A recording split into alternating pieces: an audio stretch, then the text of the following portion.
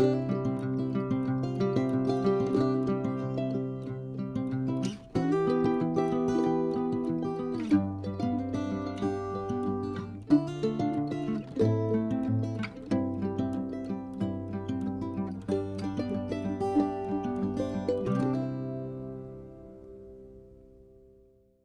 everyone, I'm Lori with Behavior Education at Spirit Keeper Animal Sanctuary. Welcome to Training Tuesday for May 3rd, 2022. This week you get a special treat. I've had a working intern from Pikes Peak State College working with me for the whole semester. It's a 15 week semester.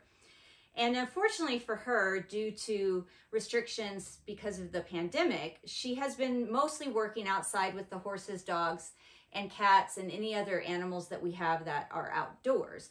And these last three weeks she of her internship, she's gotten to work inside with the snakes for the first time. Last week, she actually did a target training session with our children's python, Macel. He's an Antaresia childreni produced by Riley Jemison at Riley's Reptiles. And you're going to get to see the actual live, unedited coaching session that I did with her and with Macel. So I hope you enjoy it, and I'll be back with you at the end.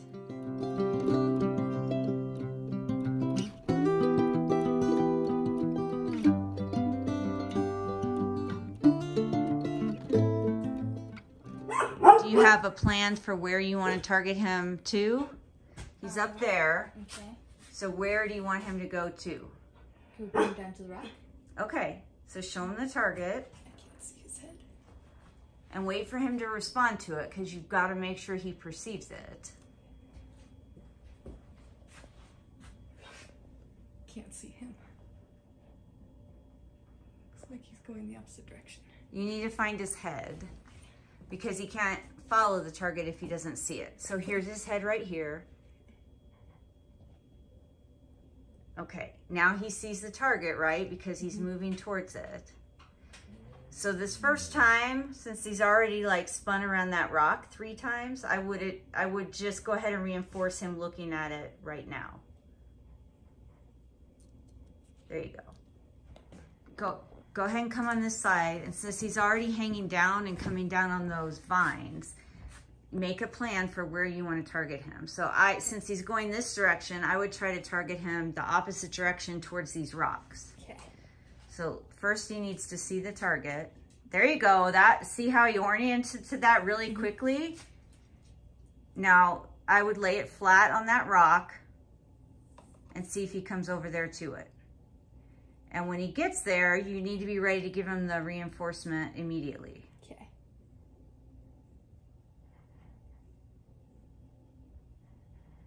So he kind of lost his orientation towards it. There you go. Give him the reinforcement now because he's getting confused. Good. He's already looking at you, so go around the other way. Don't walk this way. Go around the other way because he's already anticipating what's going to happen. All right. So now what I would do, since he's already kind of looking at you here, is go on the other side of that pole and have him cross the vines. Okay, back onto Yep. this side. Well, he needs to see the target first. There you go. Now have him go just a little ways and then give him the reinforcer. But make sure he doesn't accidentally eat that um, plant. Okay. So raise raises there. Now reinforce that. Good. Let him see it, yep. And then see if he'll follow it to his enclosure. So slowly start moving it. And you want to, yep, slowly move it to his enclosure.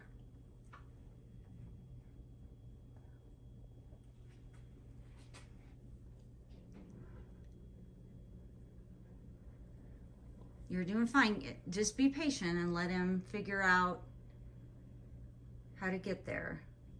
Because remember that they can't recognize the transparent barrier, so he has to feel it first to realize that there's a thing there and he's not going to fall. So now start moving it towards his enclosure threshold.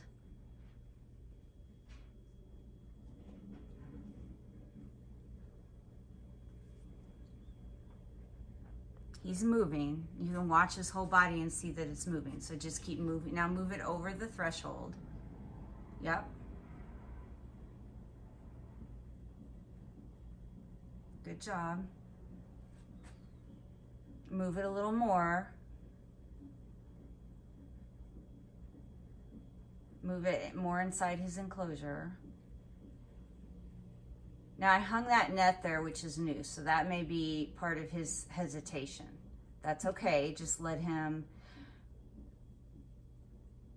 figure it out. So he's headed towards his enclosure. He just seems unsure about the net. So move towards I would move it over that black thing now. Okay. So make sure he sees it again. Yep. And now move it over the black thing. He lost sight of it.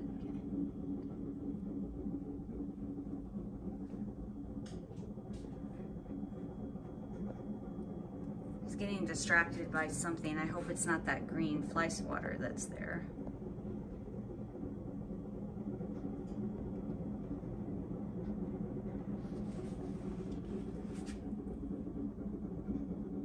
Let me see something. Okay, move it in. Get ready to reinforce. As soon as his head crosses the threshold, go ahead and give him the reinforcement, even though he's not all the way in. So we reinforce. Yeah, I would now? I would reinforce now. He had a lot of confusing things going on. That net is new, and then I think that green fly swatter sitting next to his enclosure confused him a little bit. Okay, flatten the target down and set the Reptilink on it because he can't eat it if the metal part of the. okay, so you were holding you needed to have it turned around from the way that you had it. So you had the tongs on the end he was trying to grab instead of, yes, like that's the way you should have held it, but you were trying to have him eat this end. So he can't eat the metal tongs. So he went inside um, his humid hide. We'll see if he sticks his head out and wants this last food. And if not, that's fine because I feel like this last repetition he got severely confused one that net is brand new so that sort of stalled him for a minute and then he started to go towards his enclosure and i think he saw that fly swatter which is a really salient color for them that bright green and i think that he just needed a little bit more movement of the target. Because when i moved it real fast did you see him orient towards it? And then he kind of re-engaged. So let's see what he's doing. He's going all the way in. So what we can do is just leave him be, and then if he ends up sticking his head out in a few minutes, we can give him that last food item. So on second thought, why don't you just set the Reptilink right here on the lid of his um, humid hide, and that will be reinforcement for right here on the inside part. And so he can come out then and eat that when he wants, and that'll be reinforcement for him putting himself away. And we'll just check back in a few minutes to see if he eats it. So yeah, just wipe the end of the tongs where it touched the food in his mouth and wipe the target where he might have breathed on it or touched on it with the accelerated hydrogen peroxide wipe. And then you need to get his card off of his cage and write down exactly what he ate. And we need to put the activity stand back. Okay. So he ate the Reptilink? Yeah. Yeah, I figured he would. He's a pig. I think he just got confused. One, you're a new a new trainer that he's never worked with, and then I think the net he wasn't expecting to see the fly swatter. I need to move that because that's a color of some of their targets, and that can be confusing for him. So, and then also that was his fourth rep in this training session, so he was probably getting full, even though we were feeding him tiny things. Well, what did you think of that? I hope you found that interesting. And I actually do animal training and private coaching. I used to teach group training classes, both with horses and dogs, but now I pretty much just do private training. And I not only do that in person if it's in the local area or people and their animals can come to me, but I'm mostly doing it via Zoom or FaceTime or some other video conferencing mechanism now. And I do video coaching and animal training with people all over the world, and it's extremely exciting. So, if that is something you're interested in, contact me. And it's also something that's available to my patrons on Patreon. You can find my Patreon at patreon.com slash behavior education.